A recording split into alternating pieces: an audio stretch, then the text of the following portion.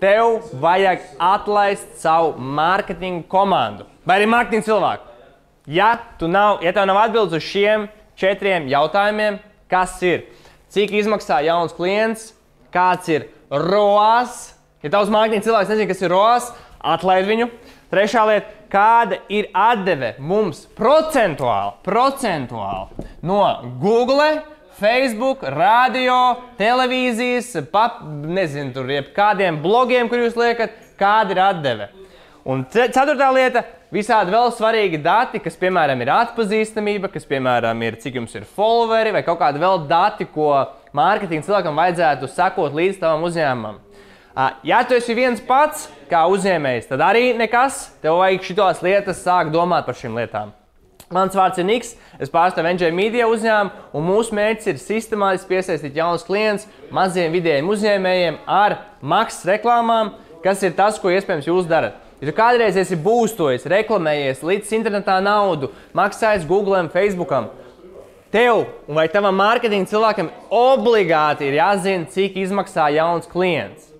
Ja tu nodarbojies ar e-komerciju, tas ir, uh, nu, tas ir, teiksim tā, tas ir kaut kāds murgs, ja tu e-komerciju nodarbojies un tavs mārketinga cilvēks tērē naudu Facebook, Google, YouTube vai internetā, un tu nezini, cik tev nāk atpakaļ nauda tieši no tām reklāmām.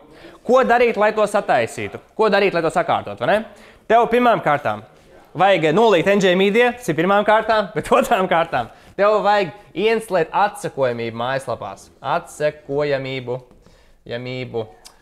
Nākošā lieta. Tev vajag, ja tā ir e-komercija, salikt precīzi šo pixeļu kodus vai Google Tag Managers, kas iet ar Google, lai viņi precīzi mēra tavus pirkumus no internetu veikaliem. Ja, piemēram, mēs saviem klientiem taisām reklāmas un tiek tērēta 20 eiro piemēram, dienā, un jūs, mēs redzam, maksa par pirkumu ir piemēram 7 eiro, 5 eiro, 8 eiro, un precīzi tur redzat, cik izmaksā tas, kad cilvēks no no interneta aiziet uz mājaslapu un samaksā.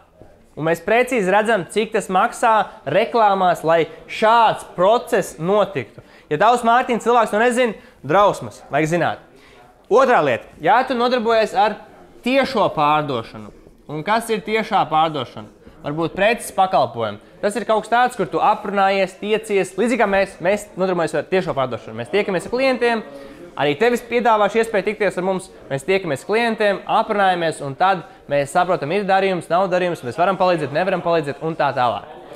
Ja tā ir tiešā pārdošana, tad tev ir precīzi, lai aprēķinātu, cik izmaksā reāli jauns klients, tev ir precīzi jāmēra divas lietas. Tev ir jāmēra tas, cik izmaksā interesēts potenciāls klients, un otrām kārtām tev ir precīzi jāsaprot, cik procentuāli no šiem visiem cilvēkiem, kas tev piesakās, kā ieinteresēti cilvēki, cik daudz no viņiem reāli kā, nopērk un kļūst par maksājošiem klientiem. Jo visticamāk, ja tu pārdod, piemēram, terases dēļus, minerālu mēslus, pakalpojumus saistībā ar grāmatvedību, juridiskiem pakalpojumiem, tas procents visticamāk būs no 5% līdz 25%.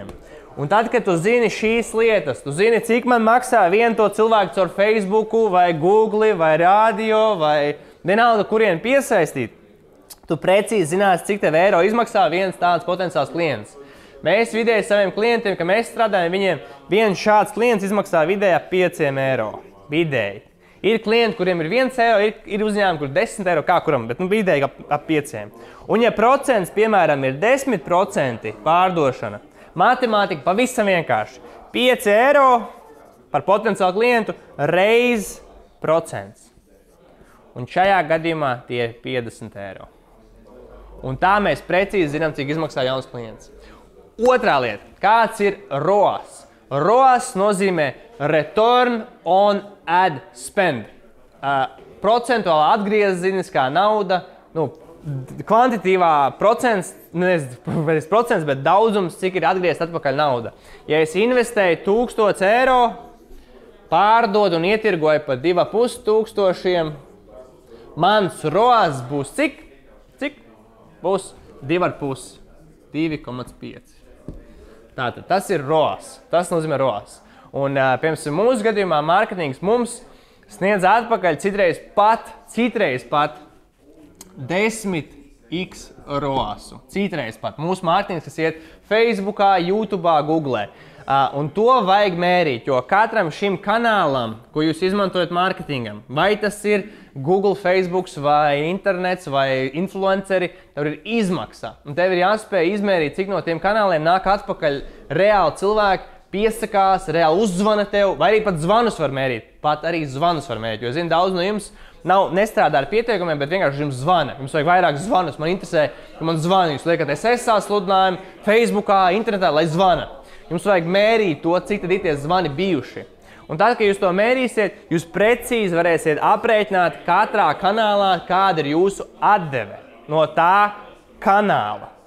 Un ceturtās lietas, es iesaku visu laiku, katru nedēļu, katru mēnesi, sekot visam šim līdzi, sekot līdzi šiem svarīgajiem datiem. Vajag visu laiku mērīt, sekot līdzi, sekot līdzi. Tāpat kā ir teicis Pīters Drakers, kad what gets measured gets managed, un what gets managed gets improved. Ideja tāda, to, ko mēri, to var menedžēt, un to, ko tu menedžē, var uzlabot. Un, ja, tev, ja tu neseko līdzi un nezini šīs lietas, tad ne, nu, tu neko neuzlabosi. Ja? Tā kā šis bija tāds interesants video. Ja tavs mārketinga cilvēks to nezina, tad saki, vai mācies, googlē, meklē informāciju un atrisini šo visu. Bet, ja tev interesē aprunāties iespējams ar mani vai kādu no mūsu kolēģiem, es tev aicinu vienkārši spiest zemāk un ieplānot pilnībā bez maksas sarunu, kas notiks Zoomā, tā kā internetā vai arī klātienē par tavu uzņēmumu. Mēs izrunāsim, ko jūs šobrīd darat un ko jūs varētu darīt saistībā ar klientu piesaisti. Un lai precīzi zinātu šo, un lai precīzi zinātu atdevi, un lai attīstītu savu uzņēmumu un attīstītu to, ko tu gribi attīstīt, un palīdzētu tev sasniegt savus klientus, kuriem noteikti to ar savu uzņēmumu palīdzēs. Jo arī es ar savu uzņēmumu gribu tev palīdzēt, un uh, tavs uzņēmums, ticamāk, risina citu cilvēku problēmas un palīdz viņiem. Tā kā mums vajag sadarboties, lai mēs varam palīdzēt vairāk cilvēkiem. Tā kā jā, ja tev patīk šis video, spied like, share, sūti draugiem. Sūti draugiem, sūti savam mārketinga cilvēkam. Vai arī, ja tu esi mārketinga cilvēks, sūti, sūti bosam, sūti bosam. Un uh, tiekamies jau pavisam drīz, lai jums forša diena, stay sharp, un tiekamies jau nākamreiz. Čau!